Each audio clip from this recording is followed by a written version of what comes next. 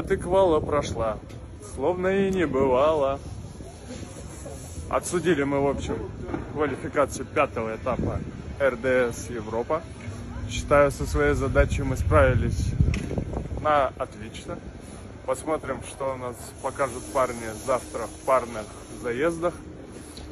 В общем, все круто. Судить сегодня оказалось приятно.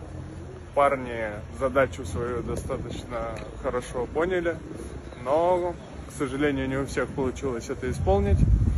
Так что газуем дальше.